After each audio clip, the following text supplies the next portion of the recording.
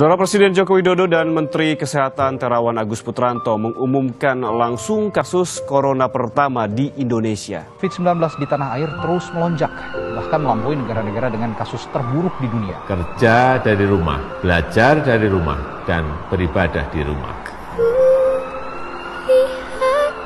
Bahwa kita harus saling mengingatkan untuk disiplin mengikuti protokol kesehatan dalam mengurangi penyebaran COVID-19. Perjuangan para tenaga medis dalam melawan COVID-19 belum berakhir. Mereka yang berada di garda terdepan harus rela mengorbankan waktu, tenaga, dan pikiran bahkan nyawa untuk merawat pasien COVID-19. Mulai dari disiplin menggunakan masker, disiplin menjaga jarak, disiplin hindari kerumunan, dan ini harus dilakukan secara bersama-sama dan terus-menerus tidak boleh terputus. Hutan, gunung, sawah, lautan. Pemerintah memutuskan untuk kembali memperpanjang PPKM level 2 sampai dengan 4 di wilayah Jawa Bali dan non-Jawa Bali.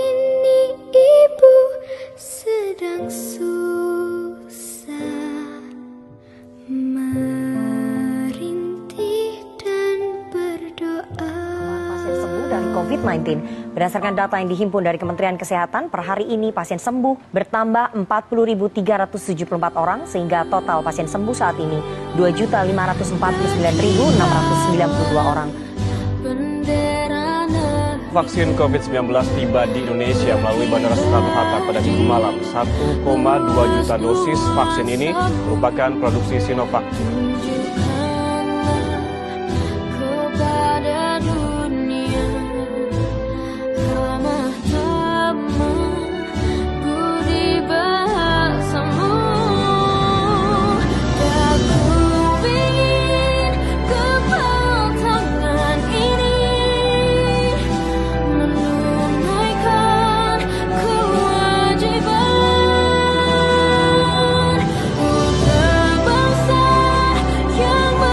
Semua ini bukan hal yang mudah untuk kita semua.